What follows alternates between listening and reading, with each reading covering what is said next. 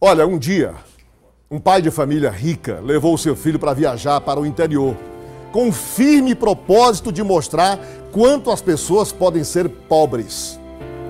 Eles passaram um dia e uma noite na fazenda de uma família muito pobre. Quando retornaram da viagem, o pai perguntou ao filho: Meu filho, o que é que você achou do que viu? Aí o filho respondeu: Pai, foi muito legal. Você viu como as pessoas pobres podem ser? O pai perguntou. Sim, meu pai, disse ele. E o que você aprendeu, meu filho? perguntou o pai. Aí o filho respondeu: Pai, eu vi que nós temos um cachorro em casa e eles têm quatro. Nós temos uma piscina que alcança o meio do jardim e eles têm um riacho que não tem fim. Nós temos uma varanda coberta e iluminada com luz e eles têm as estrelas e a lua. Nosso quintal vai até o portão de entrada e eles têm uma floresta inteira.